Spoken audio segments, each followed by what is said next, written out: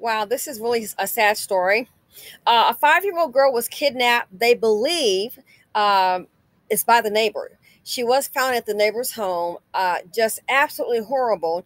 And to make matters worse, they think she's been there for a couple of days.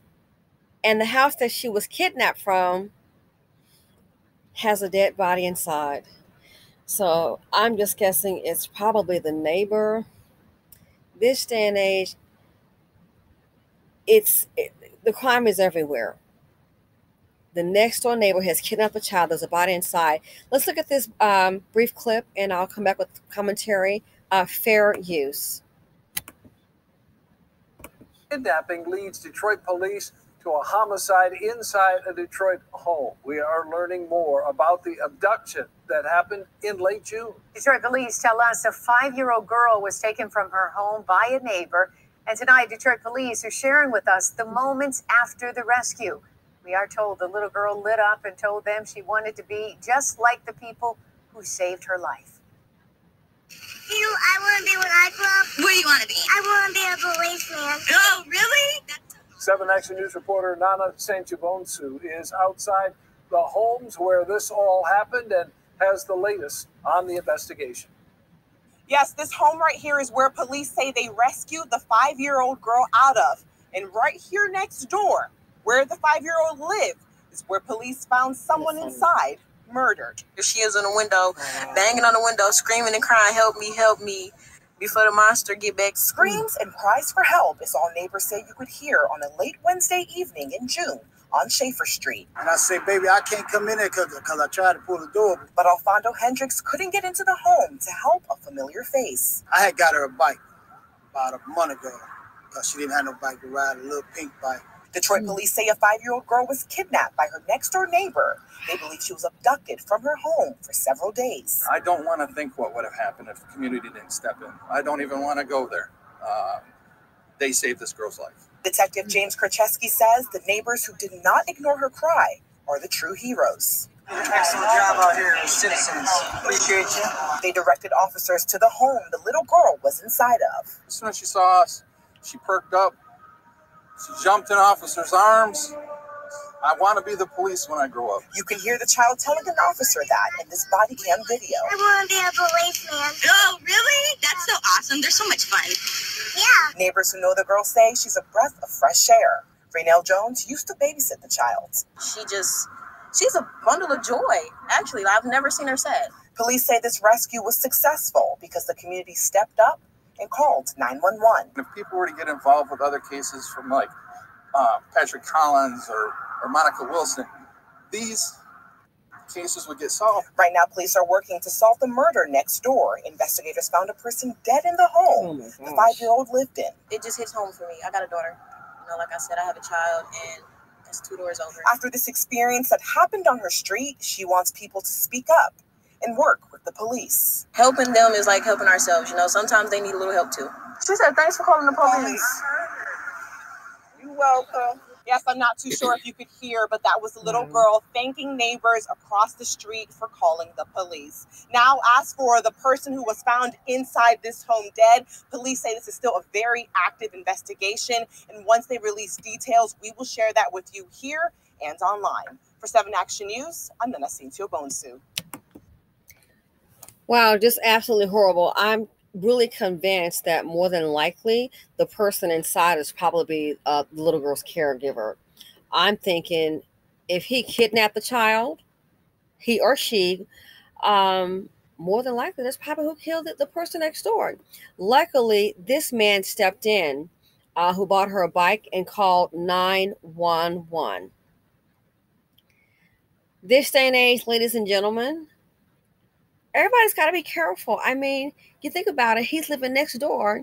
It looks rather unkept. Uh, I'm kind of wondering did anyone ever call CPS?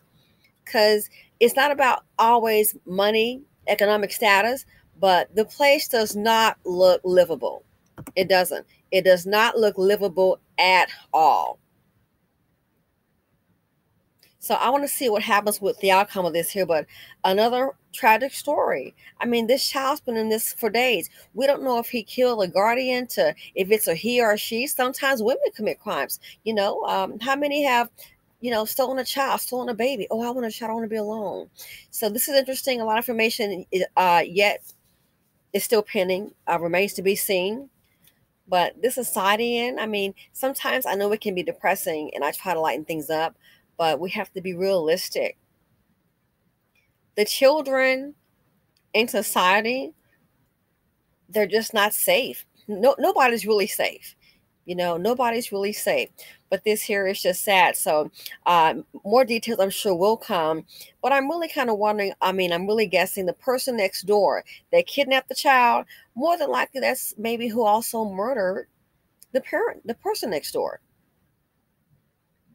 and if he had her for days, I'm kind of wondering, okay, so no one called the person to kind of check, see what's going on.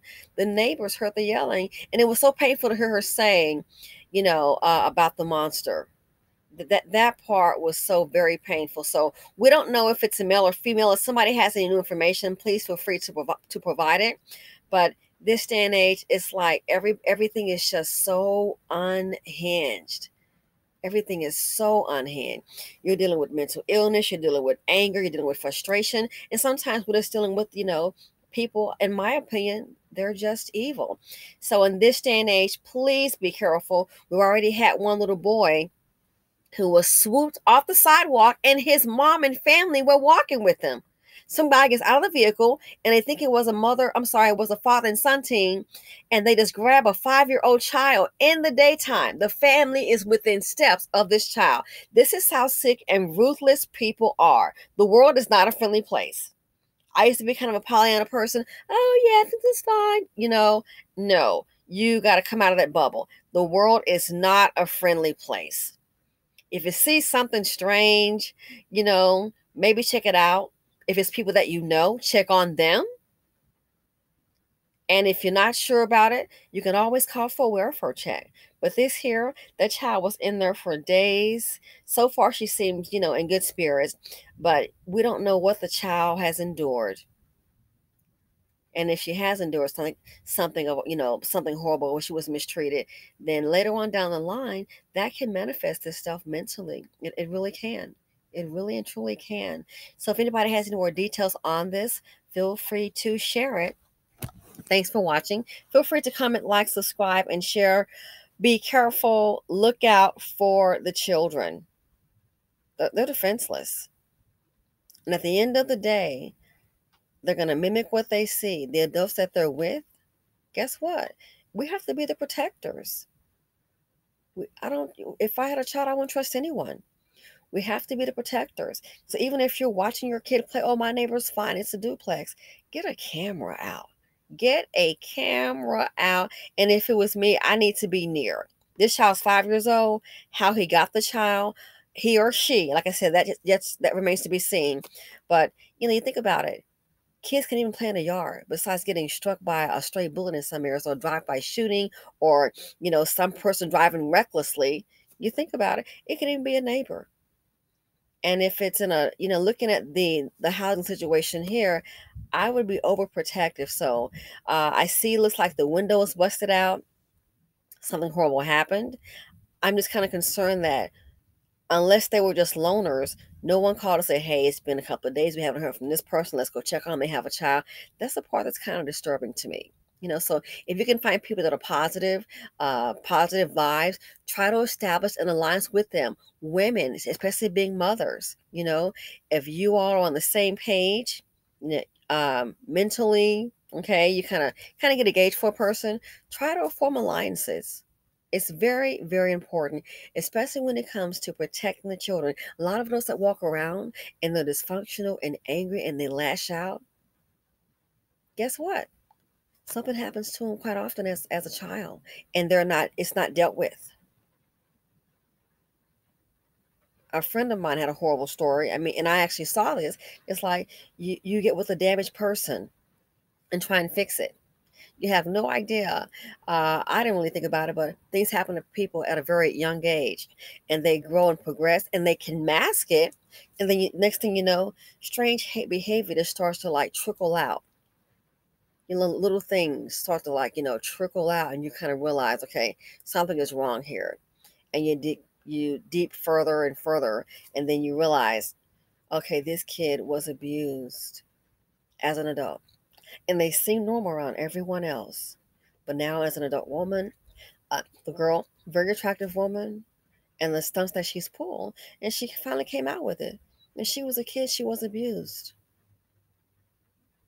And then the parents, instead of getting her help, they just pretty much threw her away with family. They didn't want to deal with it. They didn't want to deal with the outburst. They knew what happened to her. They just turned their heads the other way. They didn't want to deal with the behavioral issues. And this was their daughter, a mother and a father. They sent her off to live with somebody else. So things like this here, man, kids being abused, neglected, horrible things happening, man, they have a long lasting effect. They can try to regress it, but it's there. And a lot of times that's the reason, that's the catalyst for a lot of anger. Anyway, I look forward to hearing your comments. Feel free to, to like, comment, subscribe, and share or dislike. And I am out. Please stay safe. Thank you for watching.